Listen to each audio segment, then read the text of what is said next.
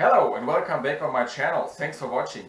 Today I will show you how you can add a dump load like this um, through the uh, um, wind turbine charge controllers by Ista Breeze like this. This is the 700 watt version for example. May you remember my uh, previous uh, video where I explained how you can change this unit over here to change the maximum and minimum voltage settings to uh, charge, for example, lithium iron phosphate batteries, uh, which is usually not able to change, but with the modification you can, and also you can change the time, how long brake should be go into the system if you reach uh, over voltage or what else. Uh, if you do not know that video, I will put a link in the description below so you can directly find it. Anyhow, um, why you need a dump load on a wind turbine and what is a dump load uh, by itself? Well, a dump load like this, this is an 800 watt version for example, it's just a simple resistor. And a resistor with only one or two ohms. So nothing fancy, nothing special. But this uh, dump load terminates uh, in a case of brake or overspeeding the turbine or, over, or you have any overpower in the whole system. Uh, it terminates the, the uh, power. And um, this is um, quite often necessary if you break down the turbine out of a full run. Uh, in some cases it could happen that the, uh, the turbine is turning very fast and uh, producing maybe a bit of over voltage or reaching the maximum output of the controller or reaching the maximum um, uh, yeah, uh, input for the battery. And then the, the charge controller uh, starts to break in. So if you reach the maximum uh, output voltage over here you controlled before, um, then the automatically this charge controller breaks the turbine down. It short circuit all the three lines of the turbine and breaks it down immediately. And by the way, you can do that also by yourself with this brake switch over here to break the turbine in case of an upcoming storm, hurricane or what else. But anyhow, if you break the turbine in, in a, uh, yeah, in a running system, there's a lot of energy in a system, just only for a very short time, but there is a lot of energy. And if you uh, break the turbine out of the full run, or it's overspeeding and producing therefore over voltage, and then the, the charge controller breaks in because of the overspeeding, um, you have a very short time, a lot of power into the system. In the case of the 1500 watt turbine, for example, you will have an overspeeding at 1600, 1700 watts and uh, you have that power in a very short time the whole system. And uh, of course most of the time that power will, be terminated into the turbine. And I guess you can imagine that maybe even a short time 1500 1700 watts into the turbine is not a very good idea for a long generator life. And therefore expansive charge controllers having these dump loads uh, but these dump by themselves are not very expensive, so you can uh, buy them from eBay or from Amazon or AliExpress, whatever you like. I will put a, a description link, just an example link uh, below in the description where you could find it on Amazon, for example. Uh, and uh, yeah, and then you can add them through these um, very useful and cheap charge controllers from Ista Breeze, for example. So before we start, let's take a look inside this controller see where you have to connect it and let's see how it works. Yeah, this is the uh, charge controller, the 700 watt version. Once again, for example, you can see this is a manual brake switch and if you open up open up that device, you see this is uh, the other side of the uh, brake switch.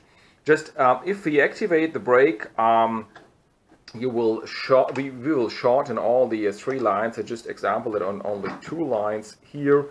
Um, and uh, you see uh, actually um, there is uh, yeah it's short right now. If I uh, if I open up the brake again then of course uh, it's an open line. You see that on a multimeter and if I close that brake again all these three lines are shortened. Anyway um, that's how it works. And as you as you see here are some some circuit breakers the re release rectifier the control unit again. But this is the this is the, the uh, thing we have to modificate you see these three cables and these three cables on that switch just producing this um, short circuit into the switch. And what we have to do is we have to disconnect these three and put uh, some some cables from this uh, from this dump load um, just uh, to that to that uh, switch. Um, anyway, um, I, I use two of these dump loads, so I connect one dump load from over here to over here and the other one I'm connecting from over here to over here and then I have uh, in that case this is the um, 700 watt version 2 times 800 watt dump load so there's enough um, uh, it's definitely enough to break down the 700 watt turbine. It would be even enough to break down the 1500 watt turbine, but uh, for that I would choose maybe two times 1000 watts um, dump loads. So um, I will show you now how I connect them and how, how does it look like after that. Yeah, and as you can see now, I added these two dump loads as an example right now with the wires uh, just uh, through this hole. You can drill another hole, of course, and then you can close it as well. And uh, yeah, have the same uh, same functionality as you had before, but now uh, with the dump load on the brake. And you can see that if you just uh, measure this with the with the multimeter, of course, that the functionality is the same. The only difference you notice is the one ohms of the dump, dump load. Let's take a look on the uh, on the multimeter over here. So you see as this is uh, one ohms over here. Yeah, now you see just one to two ohms. And uh, with the brake on and with the brake off, of course, everything is an open line again. And brake is on again. You see the one ohm of the dump load. So this is how it works. And uh, actually, in, in, this case of the 700 watt version, we do have now 1600 watts dump loads uh, which is uh, by far enough. But of course, with the 1500 uh, watt version, may you could connect a bit bigger one, but may it's not necessary just for that short period just to uh, reduce the loads uh, on a turbine if you uh, yeah break the turbine manually or this charge controller does it by itself do overspeeding or do overvoltage. so um, yeah time for a short conclusion yeah, time for a short conclusion. As you recognized, uh, it's very easy to add uh, these dump loads to the Ista Breeze charge controllers. And I guess it's necessary or it's essential to do so, especially into very windy areas. Anyhow, the idea for that I had because uh, I compared the Ista Breeze stuff to some very expensive charge controllers for wind turbines, sometimes three times, four times uh, more expensive than the Ista Breeze ones. And the only advantage these expensive ones having are a dump load and a voltage regulation.